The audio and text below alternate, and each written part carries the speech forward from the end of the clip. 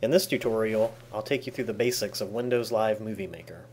I'll teach you how to manage your files, import and edit media, and share your final video. First, let's talk about file management. When you open Windows Live Movie Maker, immediately save your project file. It's crucial that you keep all files associated with your video in the same place at all times. To save a project file, click Save Project As. I recommend saving your project file in the same location as the media you will use for your project. When your final project is finished, I'll show you how to save your video file, but I'll come back to that later. Next, let's talk about importing and editing images. Click Add Videos and Photos, and then choose the folder where your images are saved. You can select one image or several images at a time. Once the images are in your viewer, you can reorganize them however you would like by dragging and dropping. Notice that when you add an image or video, the Video Tools icon appears above. By clicking it, you can change the duration of that image on screen. Also, to add effects, you can click the Visual Effects tab. This tab gives you the option to add several kinds of effects to your images. Also, you can click Animations to add pans and zoom, as well as to add transitions between images.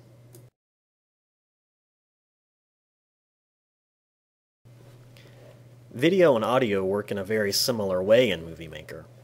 To add a video, go to your Home tab and then to Add Videos and Photos and select your file.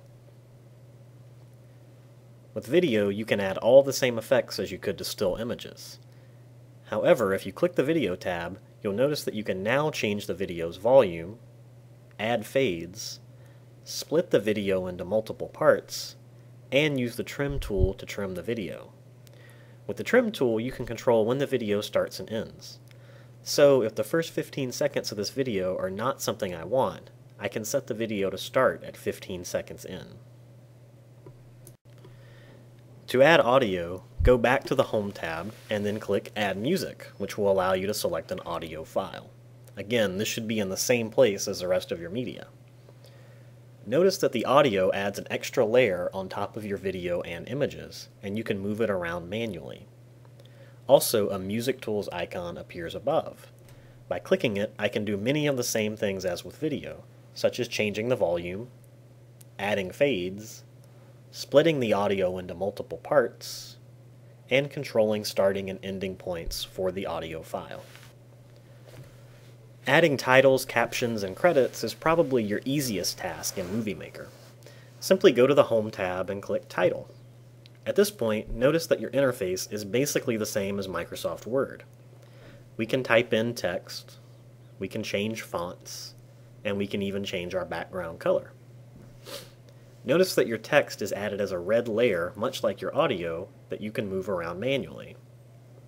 If I go to the text tools, I can change the duration of my text here, as well as add effects that change how the text appears on screen. The same concepts apply if I add captions to an image, or when I add credits at the end of my video. Finally, when ready to share your video, go to Save Movie right here.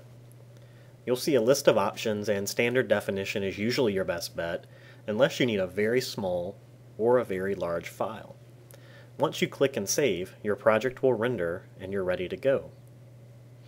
The larger your video file is, the longer this rendering process will take. If you're working with a lot of media and a lot of high definition video and images, plan to give this some time. While there are many more tools to use in, in Movie Maker Live, this tutorial should at least get you started. Thanks for watching.